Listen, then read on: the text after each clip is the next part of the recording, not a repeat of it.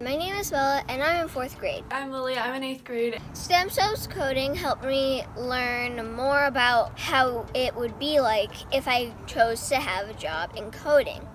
I learned a lot about how programmers code things like games, apps, and basically any type of technology, from a refrigerator to your iPhone.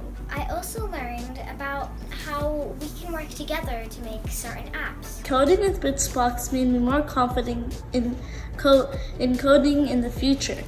I would love to build my own app and launch them into the app stores. What I liked about STEMscopes coding was how many different things that we could do with the code and how creative we could be. Coding is like one of the most fun things in the world. Coding is an amazing thing that you can learn.